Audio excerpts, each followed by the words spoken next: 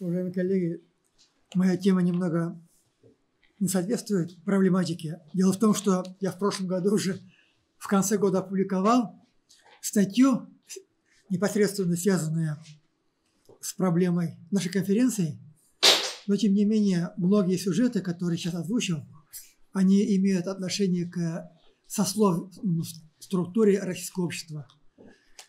Как известно, в 1897 году впервые по европейским стандартам в Российской империи прошла перепись.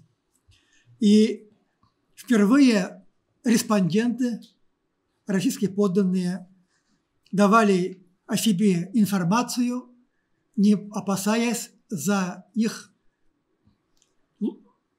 неправдивость. И в этой связи современники отмечали, когда рядом с переписчиком стоит должностное лицо, респондент отвечает правильно.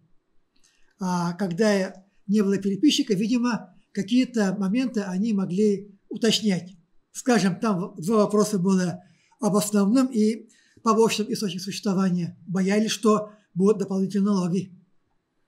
О вероисповедании для раскольников, униатов, отпавших в ислам крещенных татар, староверов вопрос был крайне неприятным. И, видимо, и другие вопросы были, которые вызывали э, какие-то сомнения в плане того, что они, вопрос, эти данные могут использоваться во вред респондента. В том числе о сословном статусе.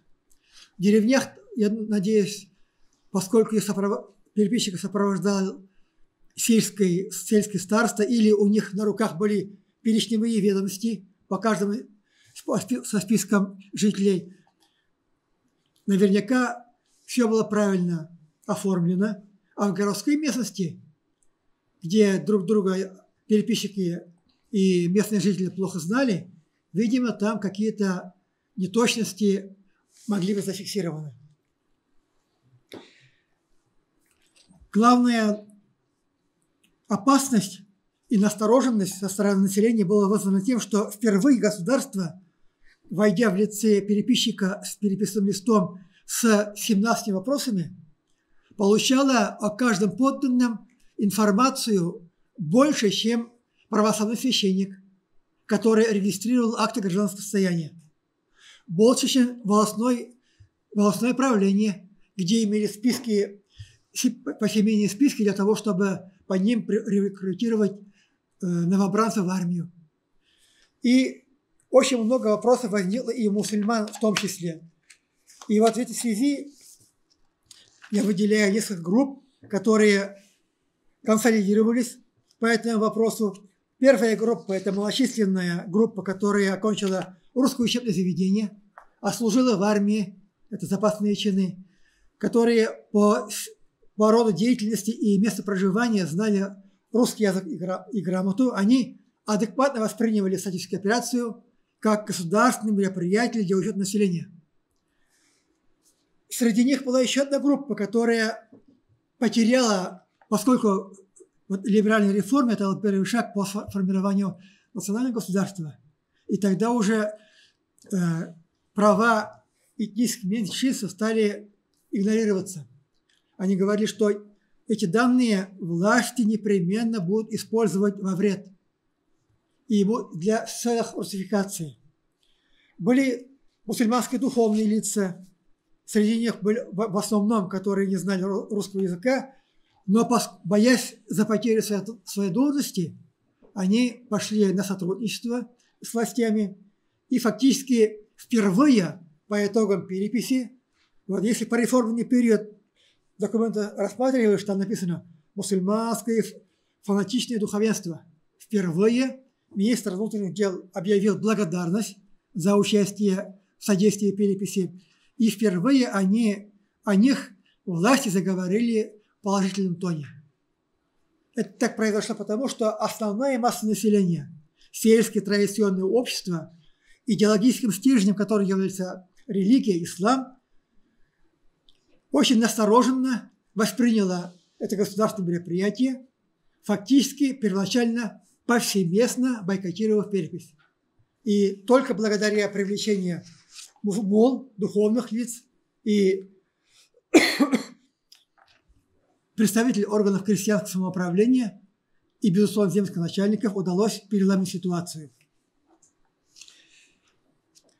Вот основные радикальные опасения заключались в том, что часть населения восприняла перепись как продолжение школьной политики, культурной русификации. Вторая часть считала, что данные будут непременно использованы против татар, потому что в переводе на татарский язык брошюрке было написано «Перепись производится для того, чтобы учитывать население для открытия аптек, школ». А у татар повсеместно были свои мектевые медресе. Возникал закономерный вопрос. Раз есть мектевые медресе, будут открывать школы, это значит русские православные приходские или русско-татарские. И третий момент – это связано с тем, что в случае, если не контролировать свои ответы, переписчики напишут, воспользоваться неграмотностью респондентов, напишут их христианами, а это документ. И вот как раз по последнему случаю классическим примером является ситуация в Уфимской губернии.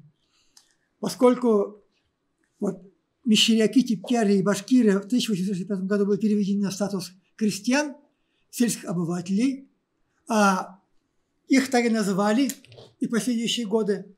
А в графе сословия их нужно было написать крестьянами, крестьянин, который происходит от слова христианин. Мусульмане настояли, чтобы их записали в этой графе прежними сословными наименованиями. Башкир башкир из Типтяр или башкир из Мещеряк. Так и сделали, потому что больше половины населения мусульмане, если они поднимутся, объявят повсеместный бойкот, а там был как раз новый губернатор, который пришел за пару месяцев до начала переписи, он пошел на уступки. И когда документы поступили в главную переписную комиссию, посмотрели и увидели, что таких сословий отсутствует, вот эти данные сословные главная переписная комиссия перенесла в графу о родном языке, а в графу сословия всех написала крестьянами. Это привело к тому, что численность башкирского сословия, точнее, точнее этнических башкир из-за такой махинации увеличилась на 350-450 тысяч человек. Это в Уфимской губернии. Вот как ситуация была разрешена в Самарской, Вятской, Оренбургской и Пензенской губерниях, где тоже были мещеряки и типкяри, нужно еще изучить. Это все? Нет, все. Это только вот один из сюжетов. Очень важно. Совсем немного. Еще хочу сказать о языке. Вот впервые все российские подданные должны были указать свою, определить свою этничность через родной язык.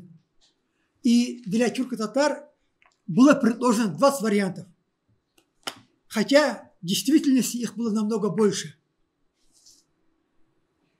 Для татар конкретно предлагались мещерякский, который был диалектом татарского языка, несуществовавший в действительности типтярский и татарский язык. Таким образом, государство и тогдашние ученые взяли курс на формирование этнической идентичности своих подданных. И вот этим перечнем навязывали выбирать себе этничность, идентичность в рамках предложенных вариантов.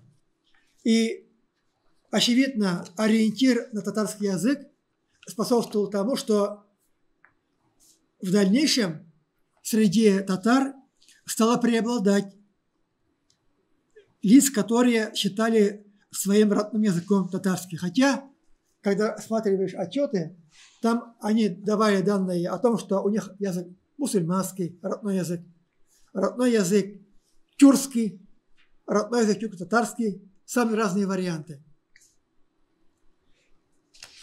И самое главное, вот получалось, получается, что разновекторность групп населения, которые мобилизовались по своим представлениям о переписи. И после завершения переписи та группа людей, которые уверовала, что после переписи начнется крещение, открытие русских школ, они стали переселяться в Турцию. Это вот из Уфимской губернии, Самарской губернии. Власти пресекали, но часть переселилась. С другой стороны, джадиды, особенно духовные собрания, куда, куда поступало очень много информации о том, что население не воспринимает, они вот в 1998 году создали специальное общество, первое такое по реформированию школы, родного языка и изданию книг.